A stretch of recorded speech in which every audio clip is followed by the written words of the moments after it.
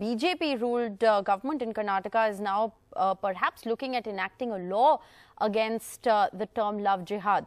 A former minister and even uh, the chief minister have made noises to the effect. A former minister, now central party office bearer, feels that one is necessary. The BJP uh, National General Secretary C.T. Ravi, who was still recently the tourism minister of Karnataka and the BJP government, has raised this controversial issue of love jihad in one of his tweets. He said, on the lines of the Allahabad High Court's order, Karnataka will enact a law banning religious conversions for the sake of marriage.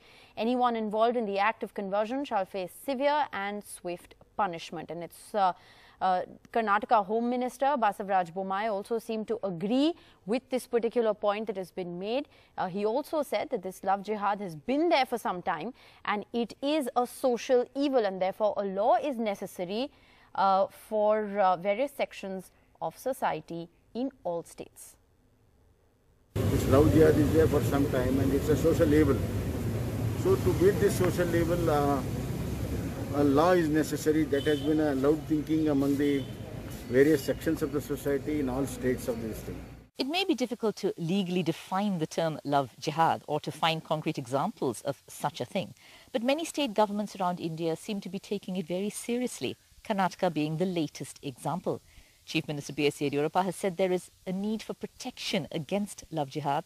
Home Minister Basavaraj Bommai said the love jihad has been there for a long time and is a social evil.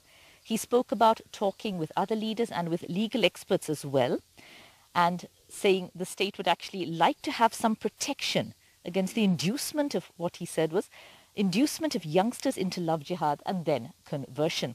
Now, the issue has been talked about in Karnataka for a couple of days now after a tweet by former Tourism Minister C.T. Ravi, who is now the BJP National General Secretary. He had tweeted saying that Karnataka will enact a law banning religious conversions for the sake of marriage.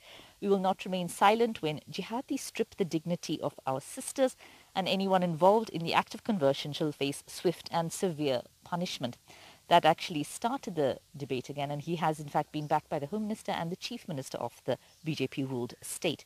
Deputy Chief Minister Dr. Ashwath Narayan, however, told NDTV that the matter had not yet been discussed by the cabinet, but it does look as if senior leadership here in the BJP in Karnataka are looking at a law to prevent what they describe as love jihad. Maya Sharma in Bengaluru for NDTV.